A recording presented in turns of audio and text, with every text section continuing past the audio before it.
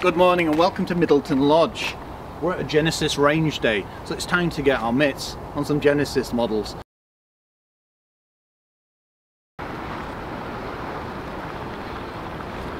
This gives us a chance to look a bit deeper into the range. So you've got saloons, you've got hatchbacks, you've got SUVs, a range of powertrains, even electric coming in the future. I suppose that's the thing about Genesis, isn't it? I mean, they're trying to establish themselves in a luxury market that's quite hard to get into. But of what we've seen today, they're seriously going in the right direction. Woo! Storm Barra's certainly on its way, it's getting rather chilly.